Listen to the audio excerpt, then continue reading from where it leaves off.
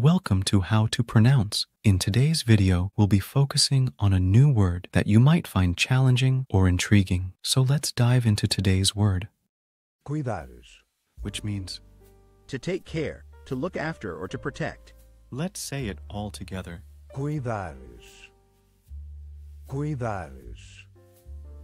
Cuidares. One more time. Cuidares. Cuidares. Cuidares. Thank you for joining us on this adventure in pronunciation. Remember, language is a journey, not a destination. Keep exploring, experimenting, and expanding your linguistic horizons. We'll see you next time.